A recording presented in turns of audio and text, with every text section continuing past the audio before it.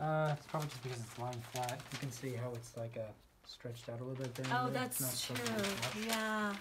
So it's- Yeah. I love the bombs. They look, and they were done like in groups of four, so that's why they're so even. Five. Oops, I'm upside down. Yep. Oof.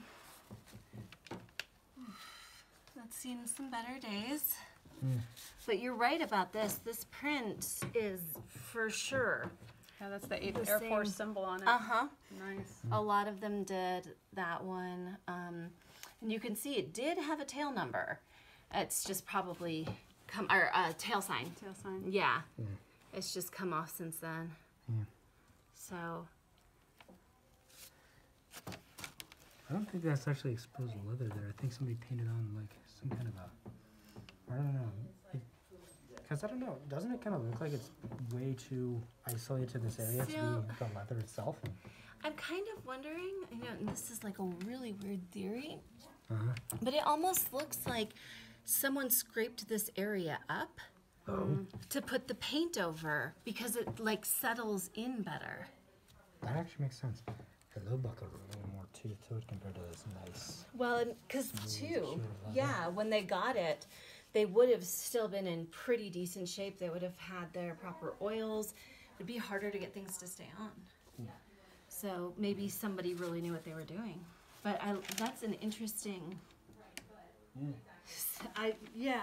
Well, even the uh, D there is pretty stylized. Yeah. Like a, almost like a kind of D you would see in a uh, medieval book almost. Yeah, that's what I was thinking. Like Sir Gawain, the Green Knight. One, Two. two. There. There's some stuffing in here that we need to take out. Okay, hold on just a sec.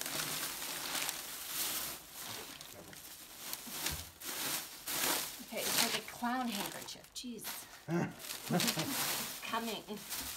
Okay, there we go. Oh, nice. There's the insignia. And this is a separate patch, which is relatively unusual for our group. Mm-hmm. Most of them had their patches painted directly on. Mm-hmm. So, This is gonna sound funny. That mm-hmm. face reminds me of the Cowardly Lion from the uh, Wizard of Oz movie. and I'm just kind of curious to see. Ooh, the snaps are in really good shape.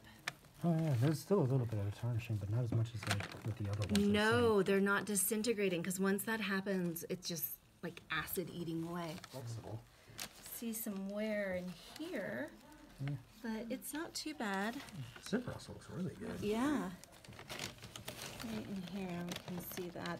Yeah. See, this is starting to corrode. You can see the green that's forming a patina on it. There's this brownish stuff right there. What do you think? Oils from the human? Probably, my, my The thought would be, what was this guy's position? Uh, Would he have worn a mic? Trying to remember. Well, they all would have worn microphones to stay in touch. True. But it depends on the silk Uh, scarf, Alvin right? W. Well- Sullivan. Actually, this is really, I didn't even notice this. Thank you. This isn't silk. This isn't even rayon. So this would have been later in the war then. A later made jacket because the silk was used exclusively at the beginning. Oh, wow. You can oh, see he's got his name imprinted on the. Yeah, look at that. everything tucked in there. Yeah. Normally we, we don't see this stuff so nicely done. Let me see if I can pull up his Yep. position. Type A2, Yeah. size 42.